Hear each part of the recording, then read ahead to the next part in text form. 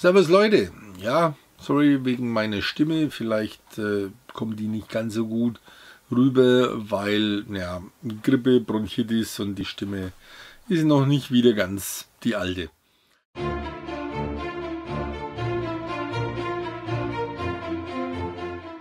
Ja, nichtsdestotrotz, ich muss euch heute äh, etwas über Navisur äh, ja, erzählen.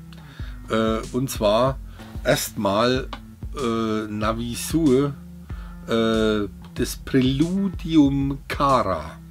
Das ist Navisur Kara 1. Tja, äh, ihr müsst verstehen, äh, diese Geschichte, die gibt es aus zwei unterschiedlichen Sichten. Einmal die Sicht von Kara und einmal die Sicht von Dariel. Äh, die beiden haben in der Geschichte selber auch äh, natürlich ihre Berührungspunkte äh, und zeitweise spielen die, äh, die beiden Bücher parallel. Äh, aber äh, ich glaube, da passiert äh, bei Dariel und bei Kara eben in den Büchern, in diesen unterschiedlichen Sichtweisen äh, so viel, äh, äh, was du im, im einen bei Kara oder im anderen bei Dariel eben gar nicht mitbekommst aus diesen unterschiedlichen Sichtweisen. Äh, ich lese euch mal die Kurzbeschreibung von äh, Kara vor, von dem Präludium. Äh, Cara Clow wächst behütet und fröhlich am westlichen Stadtrand von Paris auf. Ihre Eltern lieben sie über alles und auch ihr kleiner Bruder vergöttet sie. Doch an ihrem 18. Geburtstag soll sich alles ändern. Ein Überfall im Park einige wenige Minuten und alles ist vorüber. Sie ist allein. In der Nacht äh, schwört sie sich, alles zu tun, was nötig ist, um ihre Familie zurückzubekommen. Was sie letztendlich bekommt, ist eine neue Familie. Eine, wie sie verrückter nicht sein könnte und doch das Normalste von alle, all de, allem, all dem, was ihr in den kommenden Jahren widerfahren soll. Der erste Band der Reihe Navisur ist das Vorspiel das Präludium zu einem Fantasieabenteuer, das Dariel, Kara und Ginga in eine Parallel Parallelwelt unserer eigenen führt, nach Navisur. Erlebe die Geschichte aus Karas Sicht.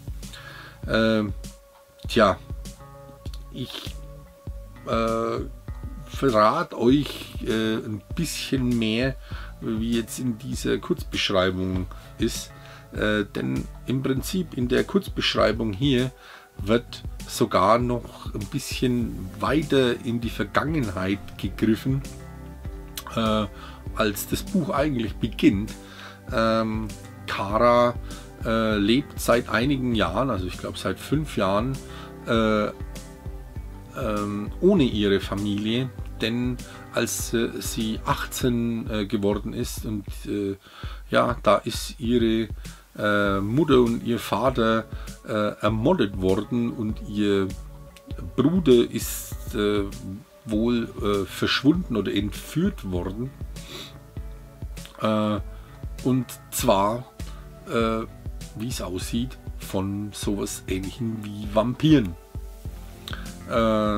und dummerweise ja, haben die wohl auch Kara gebissen äh, und äh, irgendwie haben die, ja, äh, die Kara möglicherweise äh, in einen Vampir verwandelt.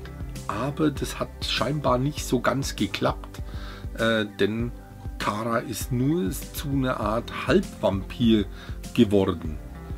Ähm, ja, äh, einige Zeit später, ich glaube, das waren sogar Jahre, hat sie äh, dann plötzlich jemanden getroffen, nämlich die Ginga, äh, wie sie heißt. Äh, und da hat sie festgestellt, äh, dass die keine, keine ihr bekannte Sprache spricht. Äh, äh, die hat nämlich Navish gesprochen. und wie Kara auch feststellen musste, ja, ist Ginga ein Vampir. Und zwar ein vollständiger, also vollwertiger. und so haben sie sich dann äh, miteinander angefreundet und äh, Ginga ist auch bei ihr dann in der Villa eingezogen. Äh, und ja, äh, Kara hat ihr Französisch beigebracht.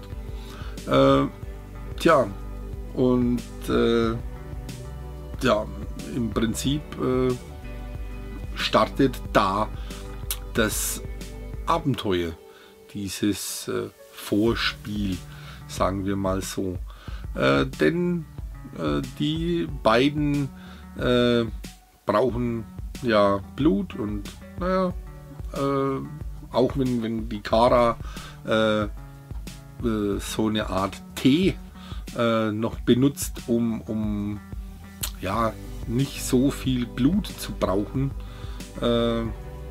denn sie hat bei sich interessanterweise äh, zu Hause einen Tee gefunden. Äh, ja, denn diese Teemischung, wenn sie trinkt, äh, dann braucht sie überraschenderweise äh, nicht so viel Blut oder nur ganz selten, wenn überhaupt. Äh, ja, äh, es liegt ein großes Geheimnis auf dem Ganzen und ähm, die Ginga, die äh, scheint äh, auch ein Geheimnis zu haben äh, und überhaupt ihre ganze Familie, also die, die Familie von Kara scheint ein Geheimnis zu haben. Auch ihre äh, ja, Großmutter äh, scheint ein Geheimnis zu haben, denn die, äh, die flippt ziemlich aus, äh, als sie diese Ginga kennenlernt und plötzlich schimpft die mit der auf Navish, auf der, in der Sprache, äh, die Ginga spricht. Und dann geht es erst richtig los. Äh, tja, dann treffen die ganzen auch noch auf, äh, also erst Ginga, äh, auch noch auf äh, Vampirjäger, äh, und es wird immer noch kuriose, äh, ja, bis dann eben Dariel noch dazu kommt. Und ja, äh, der ist dummerweise äh, ein Vampirjäger. Tja, warum der dieser Vampirjäger dann aber irgendwann auch noch mit den beiden Mädels in die Villa einzieht. Äh, warum die dem dann vertrauen, das müsst ihr dann schon äh, im Buch, in dem Präludium lesen oder eben im Präludium Dariel. Äh, denn das ist eben diese parallele Geschichte. Ihr könnt eben äh, die Geschichte aus Karas und aus Dariels äh, Sichtweise lesen. Ich habe es jetzt erstmal aus Karas Sicht gelesen äh, und ich bin echt begeistert. Ich habe nämlich auch schon den zweiten Teil gelesen, der noch heftiger ist, noch fantastischer, äh, denn ja, der der äh, spielt nämlich äh, nicht mehr in Paris, sondern der spielt in Navisur. Das ist äh, ja eine Parallelwelt. Äh, tja, die Welt, aus der Ginga stammt und offensichtlich äh, eben auch aus der äh, ja, Karas Familie ursprünglich stammt. Tja, ich bin echt wahnsinnig begeistert von der Geschichte. Zum einen ist es super cool und super gut geschrieben. Äh, richtig schön, flüssig äh, äh, und, und die, die ganzen Charaktere äh, sind cool, sind absolut toll äh, beschrieben und das, das, das steigert sich eigentlich auch noch äh, immer weiter. Ob das jetzt dieses Präludium ist oder eben dann der erste Teil, äh, also der erste richtige Teil sozusagen, oder eben Präludium und dann der, der, der darauf folgende Teil, äh, äh, so schöne äh, ja, Welt, die ganze Welt, die da erfunden wurde, äh, ist, ist schon äh, echt, echt sehr gut gemacht. Also äh, die Autorin Mary Kronos äh, hat es wahnsinnig gut gemacht. Äh, da gibt es auch, äh, also diese Welt äh, zu erschaffen, es ist ja auch immer, immer interessant. Äh, und was hier auch noch mit, mit erschaffen wird, das ist so ein kleines bisschen Sprache, äh, Kultur, was, was in Navisur äh, eben, eben benötigt wird, um so eine Welt äh, greifbar, um so eine Welt äh, wirklich werden zu lassen. Äh, ja, man hat Früchte und Natur und Tiere und Pflanzen, äh, die da erschaffen wurden aus nichts.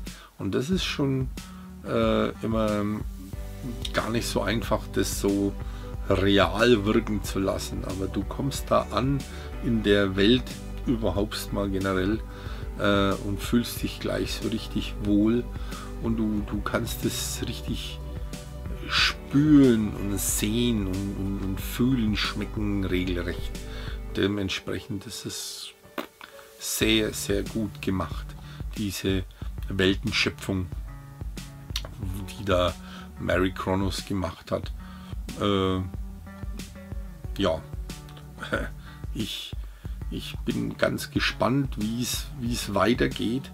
Äh, und ich will jetzt auch mal, glaube ich, demnächst, wenn ich Zeit finde, äh, das Ganze aus äh, Dariels Sichtweise noch lesen, äh, weil ja, ich glaube, bis der nächste Teil äh, aus Karas Sicht und so erscheint, wird es vielleicht noch ein bisschen dauern. Äh, ich hoffe nicht mehr so arg lange, äh, aber ich glaube, da habe ich jetzt Zeit, dass ich eben das Präludium Dariel und dann den, den ersten oder beziehungsweise zweiten Teil aus Dariels Sicht noch lesen kann. Denn ich glaube, da gibt es noch, also so wie eben der, der zweite Teil aus Karas Sicht geendet hat, gibt es da noch ein großes Geheimnis, das eben möglicherweise äh, im zweiten Teil von Dariels Sicht schon gelüftet ist und eben die äh, Kinga und Dariel schon davon wissen, aber eben aus der Sicht von Kara hast du noch gar keine Ahnung von bestimmten Sachen und vielleicht umgekehrt. Ja. Äh, deswegen ja, sehr, sehr cool und sehr interessant. Ähm, ich kann es absolut empfehlen, das, das mal zu lesen. Ich hau beide für beide Teile, also für das Präludium Kara und dann für den äh, für diesen äh, äh, zweiten Teil von, von Kara äh, haue ich äh, für beide mal 15 Punkte raus, weil mich die echt überzeugt haben und ich freue mich schon wahnsinnig äh, drauf weiter, äh, ja, wie es in Navisur äh, weitergeht. Und ja, das ich könnte sofort weiterlesen. Äh, ja, ich hoffe, Mary Kronos, du beeilst dich mit, mit dem Schreiben und haust bald äh, die nächsten Teile raus. Äh, Würde mich auf jeden Fall freuen. Äh, in diesem Sinne, lest mal wieder was. Ciao.